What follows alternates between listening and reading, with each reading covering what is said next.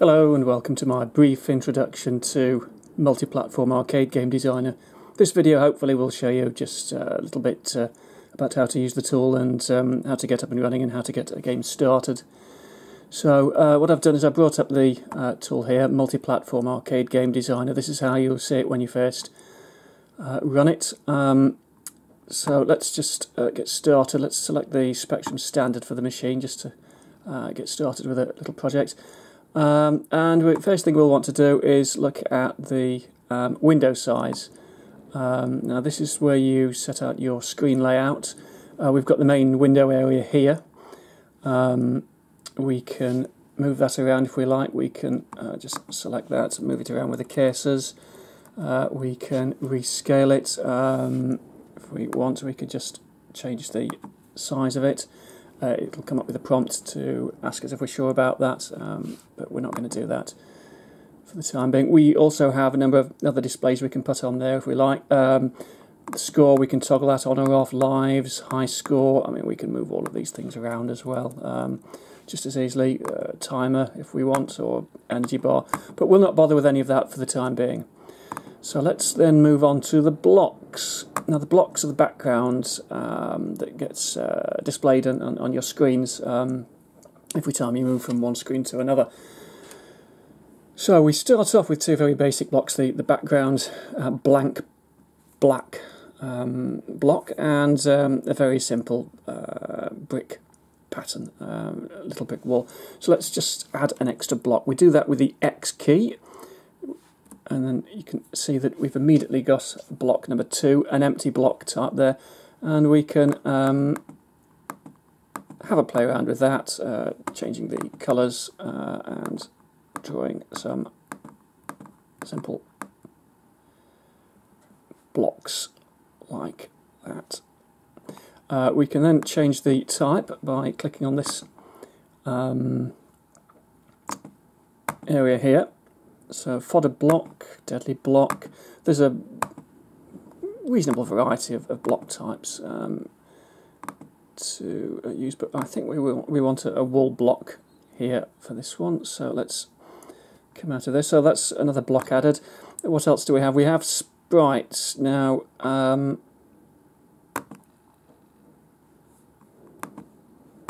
let's change the sprite colours. Right. Uh, what we want to do is set up some basic sprites just to uh, test the tool. So let's just do something very, very simple with some sprites here. Let's do a little player sprite or something like that. Just mirror that and yeah, draw a little basic little box for one sprite. Now if we want to add another sprite, we press X. That adds another sprite.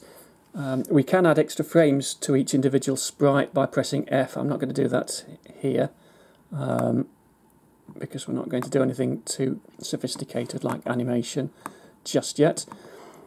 Um, but let's just do a very simple basic 16 by 16 circle, the old classic 16 by 16 circle.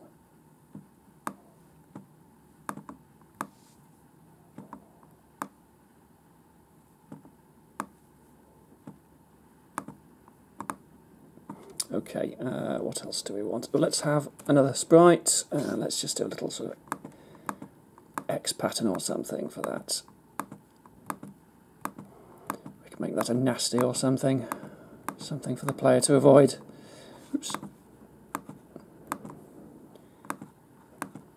You can change the colour in the sprite editor, by the way, on Spectrum, just by clicking those boxes there, just as we did with the block editor. Okay, so we have three sprites now, 0, 1 and 2, three different sprites. So we can start off with those now. Uh, let's go to the screens editor where we want to set up our screen layout. So let's do something very simple. Draw some wall blocks at the bottom of the screen. Notice the um, coordinates are shown in the panel, which is helpful. Uh, let's select our new block now. Where do we want to put those? Let's put those up here, shall we? Uh, maybe a little platform here. and maybe one there.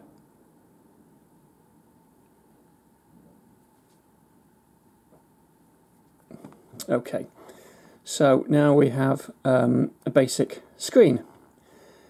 So the next step is to put some sprites on it. Let's go down to the sprite positions editor. So um, let's put let's have the square first sprite as the player. So we'll put him there. Or shall we? We can we can move these sprites around just by clicking on them again and then move them elsewhere. So that's reposition that sprite. Now notice it defaults to saying player respawn. Um, that's because uh, the tool doesn't yet have any examples of, of this sprite image and, and, what its type should be. So it defaults to player respawn. Again, when we select the next sprite, it says player respawn. But if we now click on this um, and change the type with R and T, we can change the sprite to any particular sprite type. So that would uh, be sprite type 1, which would use player event 1. More of that later. Um, and then let's just have one of these X's and put that one, say there. Okay, so so we could have a player sprite there. That's player respawn point. Sprite type one. Okay, so we'll have to make that a collectible, I think, and ooh, that's defaulted to player respawn. We don't want that, so let's click on that area there and change that to sprite type 2. So now we've set those up, what we do is we go to Tools and we can go to the Script Generator. Now this is a particularly powerful um, part of the tool. Here we see all the individual sprite types we can have. Player controls and sprite types 1 to 8. Those are all the sprite types we could have uh, chosen in the uh, sprite positions editor. And here in this column we have the uh, behaviour that we want that sprite to um, exhibit in the game. So going to the player controls we can have Rocketman controls which would be like Jetpac or Cybernoid uh, where the player automatically moves down when he's not moving up. He can move left and right uh, and fire. Uh, top-down controls, that's sort of more of a maze game or Sokoban or Atic Atac, you know, the top down controls up, down, left, right. Platformer is standard left, right, and jump. Ladders and levels is left, right, and up and down ladders, um, the sort of movement you'd see in a game like uh, Space Panic, for example. Left to right shoot 'em up, well, that's sort of Zynaps, um, more T R type, that sort of thing. Um, and those are the player controls. So I think we'll go with Rocketman controls for this one. Um, sprite type 1. Um, so that was our first sprite we added. I think we made that a collectible. So let's go through the rest of the sprite types. Um, we can have a uh, static collectible, which just sits on the screen animated uh, and just waits, uh, checking for a collision with the player. When it is picked up by the player, the player gets a bonus. Uh, and you can change that. Uh, I think it defaults to so many points, uh, but you, you can change that to um, award the player some other sort of bonus. Pushable block, um, those are blocks that uh, the player can push around, Sokoban style. Um, bouncing nasty is just a nasty that bounces diagonally around the screen. Horizontal patrol, that's very Jet Set Willy Manic Miner-ish. It will move left and right uh, and change direction when it hits something solid or when it reaches the end of the platform. Vertical patrol is rather like the horizontal patrol, just goes up and down and changes direction when it hits something solid. Ladder pursuers, those are the sort of enemies you want on a screen where you've got a ladders and levels type game. Um, so they just wander around the platforms and up and down the ladders, chasing the player, just basically wandering around aimlessly most of the time. Um, homing nasty. Uh, that's a, a, sprite that homes in on the player slowly. Um, that's a clever little uh, routine. What it does is it uh, tells the um, player controls to store the player's coordinates in a global variable. Um, if you don't understand what that means, never mind. Um, it generates the code for you automatically anyway. uh, so that it can it, it will pick up the um, the player's variables from from those player's position from those global variables and home in on those. Uh, the static nasty is um, like the static collectible, but it's just deadly to the touch. Uh, player bullet. Uh, now that's useful um, if you want to. If you have a you have a control method that uses a fire button, uh, then the player setting up a, a, player bullet in one of the sprite types will um, tell the script generator to use uh, to spawn a sprite as the bullet instead of um, using lasers. So you can do that. You can select the left and right directions for the sprite as well while you're at it. Um, but we'll, uh, in fact, I think we'll we'll do that in a minute. Um, player satellite is a, a sprite that um, orbits another sprite. It goes round and round. Uh, so a little bit like the power-ups you get on Cybernoid, um, and uh, that sort of thing. Um, if you wanted, you could change it uh, with a couple of uh, lines of code so that it would orbit um, a boss sprite, for example. So you, would have a big boss with orbiting sprites. So that would be fun to do with with that um, event type. So those are the other event types that we have available. Um, but you can always write your own if you're not happy with those or change the existing ones. It's up to you. I think what we'll do is we'll have a. Uh, now, what did we do? We had collectible. So let's use the player satellite for that one. Uh, and then the nasty sprite, sprite too, wasn't it? So let's use the bouncing nasty for that. Um, so that will do. We'll take off these um, sprites because we've already defined the sprite images on the sprite position screens. Um, and we'll just generate the scripts for those. Now it will prompt us because that will erase the existing scripts. So we'll say, yes, we are sure. And then it'll tell us to save the project to export source to see our new scripts. That's no longer applicable because we can just go straight to events and look at our script. And here we see it's generated the script for the player. Um, up, down, left and right. And of course fire, but it's using the laser at the moment. If you, see, can see that, it's um, using the laser, which is one of the particles. Um, so if we didn't want to do that, we could go back to the tool, the script generator, um, and set up a player bullet sprite instead. So where are we? Player bullet. So we could set up a player bullet sprite there. Um, I think we'd probably want to draw a new sprite for that. So let's just just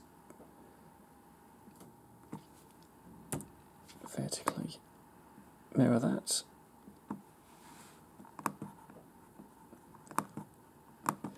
Yeah, the right mouse button isn't very good on this.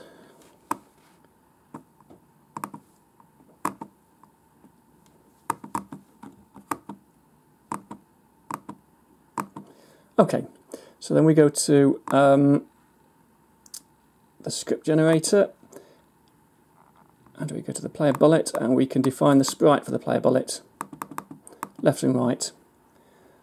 Um, oh the other thing we can do is change the other events at the same time. So let's just do that. Now that'll change any of the other scripts that need to be changed um, in order to make these work a little better.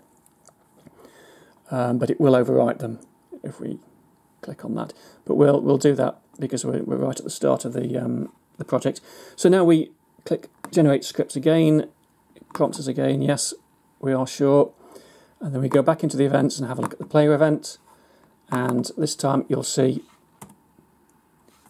it's no longer using the laser. It's now using sprites. It's spawning a type sprite type 3 with image 3. So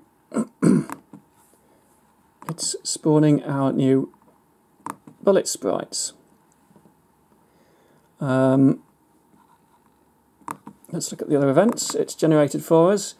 Um, sprite type 1, um, that was the satellite sprite, if you remember. And here's the code for the satellite. It basically sits there until it's uh, it touches the player, um, and then it just orbits him. As you can see, the data is down there at the bottom, and that's how it orbits the player. Sprite type 2, um, the code has been generated automatically for us there.